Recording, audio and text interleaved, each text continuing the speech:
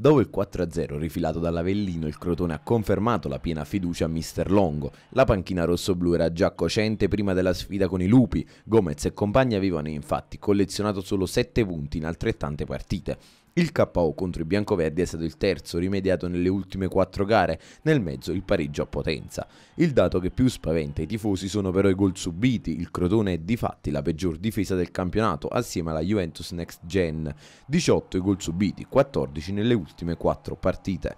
Il Trapani ha invece perso un tassello della propria rosa. Valerio Mastrantonio, arrivato in estate dal Cittadella, ha rescisso il proprio contratto con i Granata, interrompendo il suo rapporto con la società.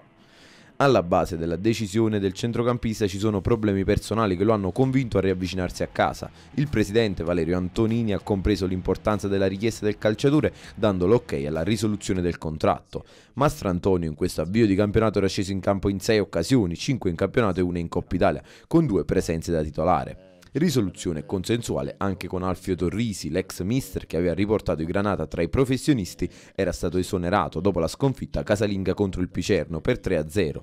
Per Torrisi adesso diverse opportunità alla finestra, con molte squadre di, di che lo corteggiano. Il Monopoli piazza infine un colpo tra gli svincolati. Il DS Chiricallo ha chiuso l'accordo con il centrocampista Marcello Falzerano. Alle spalle una carriera lunghissima con squadre come Perugia, Venezia, Salernitana, Avellino e Benevento, giusto per citarne alcune. Vanta 200 presenze in Serie B e nella scorsa stagione ha militato nell'Ascoli, mettendo a referto 34 presenze, 2 gol e un assist.